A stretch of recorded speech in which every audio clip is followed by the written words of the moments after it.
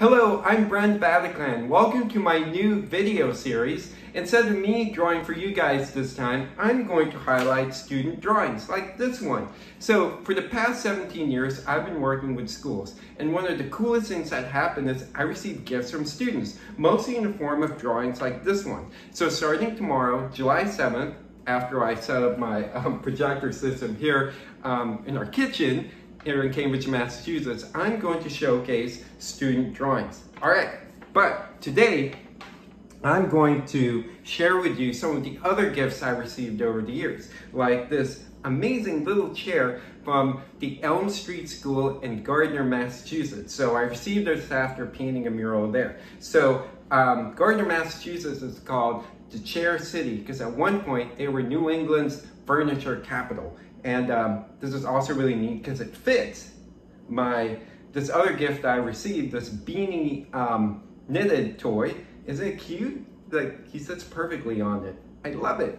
All right, this other gift I received is also knitted. This is from the um, Founders Memorial School in Gardner, Massachusetts. So it's uh, really different and unique because the teacher knitted uh, this kind of technicolor hair up here. So cute. All right. Um, this I absolutely love as well. This is from my college friend in California, Mako. So she's into needle felting. I know it's super time consuming, so look it up, the process of needle felting. I know it's took lots of hours. So these are my characters on the crescent moon sailing away. And Mako knows that I love cats, so she made me a kitty related one. So cute.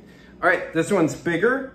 Uh, this is a sock monkey from um, my accountant's wife. So she made this for me and it's so amazing because um, I've been living here in Massachusetts for the past 25 years. So it has a Boston Red Sox baseball cap and um, I was born in the Philippines so it has the Philippine flag. Phenomenal. All right, and the last gift I'd like to highlight is um, from the Malabanan family here in Boston and uh, they made me this beautiful case and uh, this tile mosaic piece so precious. It's so nice. So thank you. All right. I hope to see you guys again tomorrow. And as i mentioned i'll be highlighting students drawings. I can't wait.